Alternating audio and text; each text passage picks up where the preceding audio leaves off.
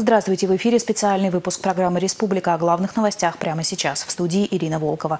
На утро 21 апреля, по данным сайта stopcoronavirus.rf, в Чувашии 235 случаев заражения коронавирусной инфекцией.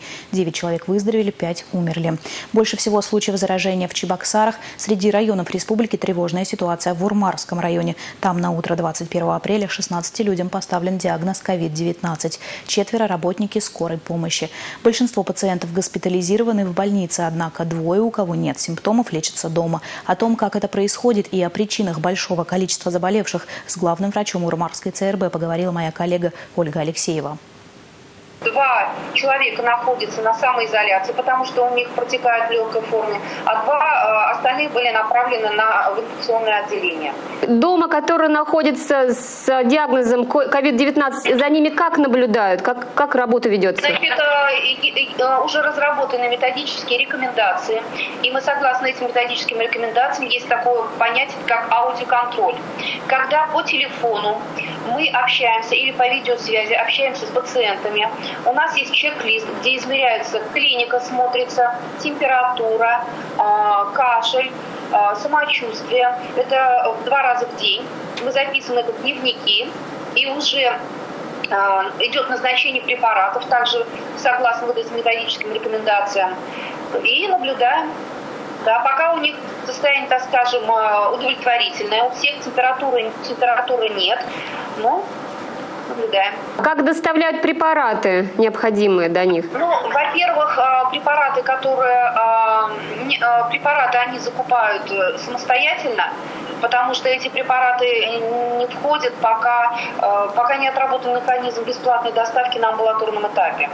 Ну, это интерфероны, антибактериальные препараты, ну и различное питье. Пока угу. вот так. А самостоятельно каким образом они не могут же выходить из дома? Мы, э, мы здесь выписываем рецепты, да, 107 э, формы О, рецепты выписываем, а, и потом уже медсестры у нас доставляют им надо. Все у нас понятно. пациенты не входят. Вот 16 человек это для района, мне кажется, много. Почему, как вот вы считаете, почему именно вот в районе, в а, Урмарском много выделили? Для, для района это много, но я хочу сказать, это всего два очага. Первый очаг, конечно, это сотрудники, которые находились э, две недели в обсервации. Там ну, все-таки оттуда у нас пошли четыре человека. Второй очаг – это фельдшера, которые заболели буквально в один момент. Это а, а, пять человек фельдшеров плюс водитель. Да?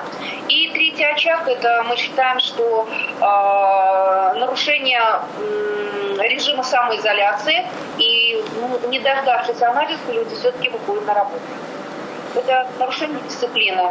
Какая у вас психологическая атмосфера? Насколько люди боятся, обращаются, может быть, какое состояние психологическое у людей да, в районе? Сейчас, а, если первую неделю и вторую неделю самоизоляции люди как-то не очень-то, может быть, серьезно к этому относились, то сейчас у нас участились звонки а, о том, что люди а, боятся, в круглосуточном режиме подходят и в отдельный бокс для сдачи анализов. Мы э, принимаем у всех, направляем в лабораторию. А, и также рекомендуем, чтобы все люди соблюдали режим самоизоляции.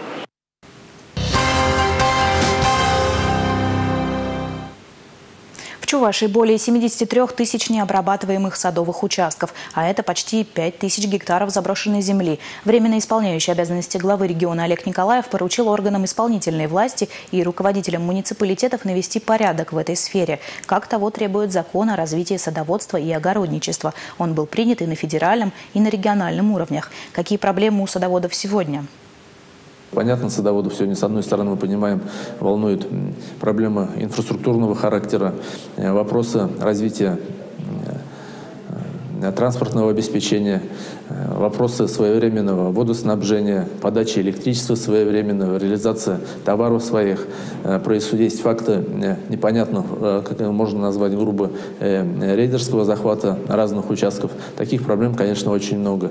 И еще раз напомню, главой Э, была поставлена задача в ближайшее время провести инвентаризацию всех э, этих э, некоммерческих объединений.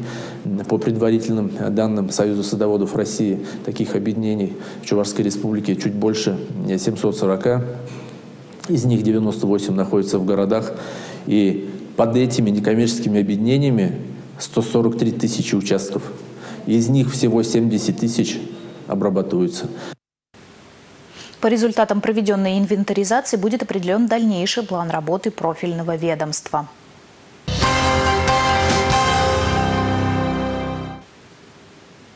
Сегодня поздравления с днем рождения принимает митрополит Чебоксарский и Чувашский Варнава. С владыкой встретился временно исполняющий обязанности главы республики.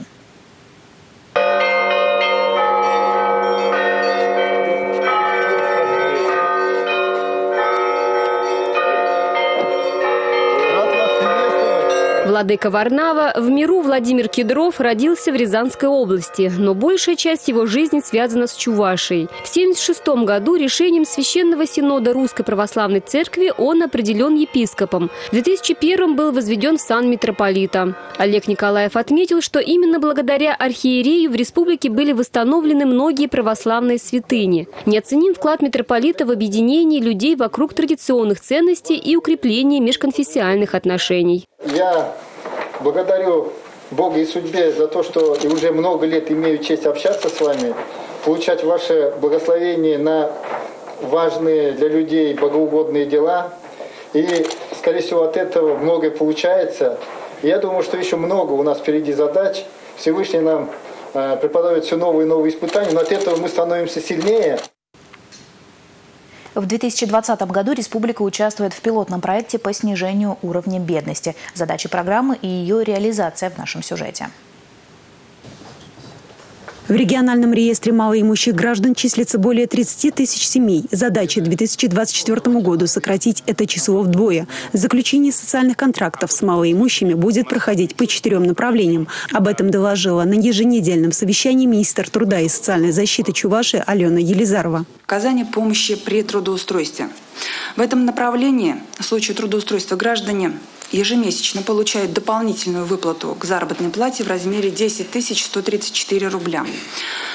По второму направлению гражданам предоставляется возможность получить дополнительное профессиональное образование либо профессиональное обучение. На этот период они получают стипендию в размере 10 134 рубля. И кроме того оплачивается стоимость курса обучения.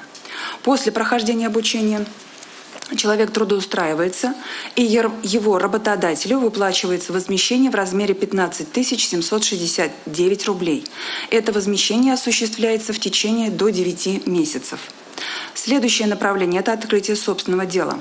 Оно предполагает единовременную выплату в размере до 250 тысяч рублей при условии осуществления индивидуальной предпринимательской деятельности не менее трех лет – Размер единовременной выплаты в данном случае определяется в зависимости от стоимости проекта, который гражданин планирует реализовать в рамках своего дела. Данная поддержка предоставляется гражданам на период до 12 месяцев. К 2024 году планируется заключить не менее 3800 таких социальных контрактов на общую сумму более 376 миллионов рублей. В каждом районе республики созданы межведомственные комиссии. Заявки для оказания государственной помощи пока в условиях пандемии принимаются по телефону. Это главные новости к этому часу. Следующий специальный выпуск программы «Республика» в 16.00. До встречи.